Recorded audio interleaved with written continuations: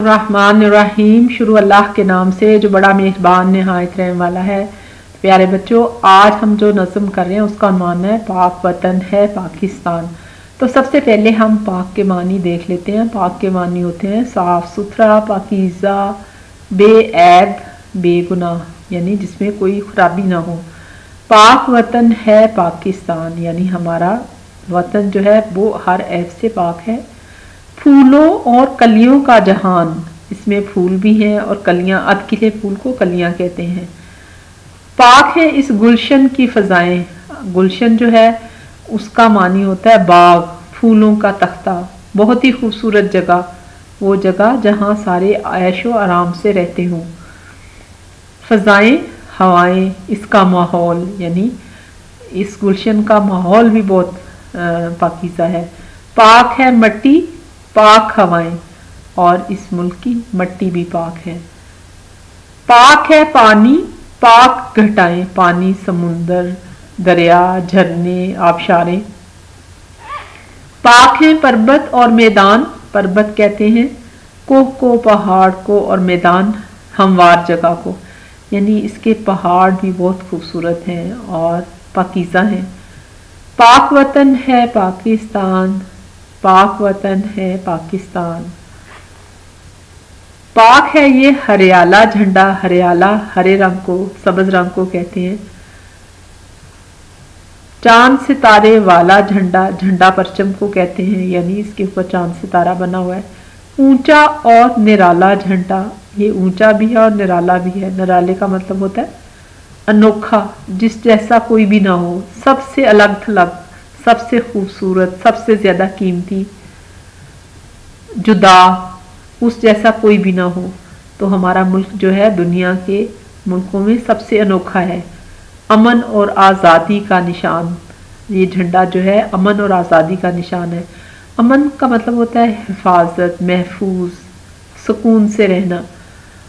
اور پاک وطن ہے پاکستان، پاک وطن ہے پاکستان۔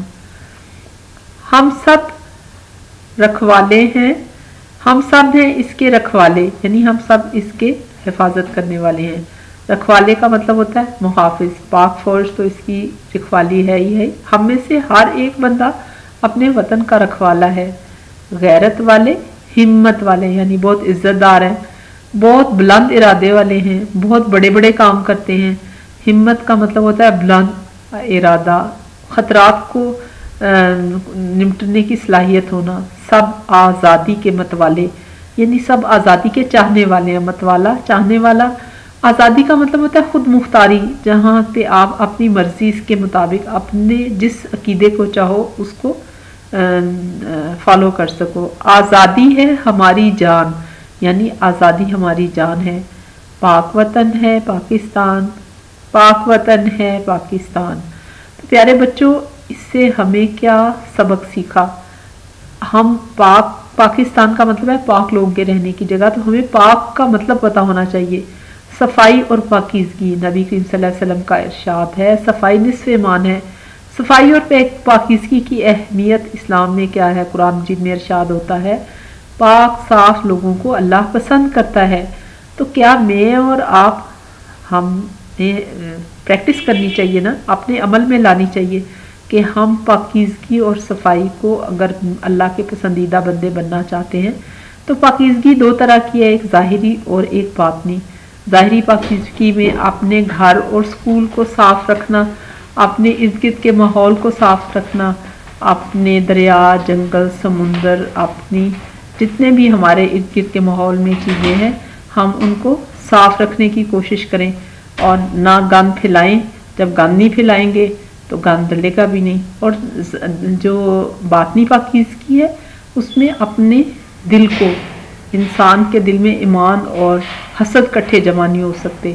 اور دل کی بربادی کے اسباب کیا ہیں؟ گناہ اور نافرمانی کرنا، قرآن جیت کا پڑھنا چھوڑ دینا، دنیا کا لالچ، گانے سننا، برے دوست اور بری مجالس میں بیٹھنا، زیادہ کھانا اور زیادہ سونا، عہد شکنی کرنا، جھوٹ بولنا بدت اختیار کرنا، وہ کام کرنا جو نبی کریم صلی اللہ علیہ وسلم نے نہیں کہے۔ تو دل کو سیاہ ہونے سے بچانے کے لیے بہت زیادہ ضروری ہے کہ ہم توبہ استغفار کریں، کیونکہ دل کا سکون تو اللہ کی یاد میں ہے۔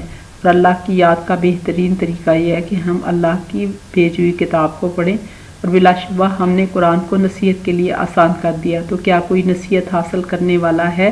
یہ قرآن مجید کے الفاظ ہیں۔ پیارے بچوں، امید آپ کو سبق پسند آیا ہوگا۔ اس کو لائک اور شیئر کریں اور اس کو سبسکرائب کریں۔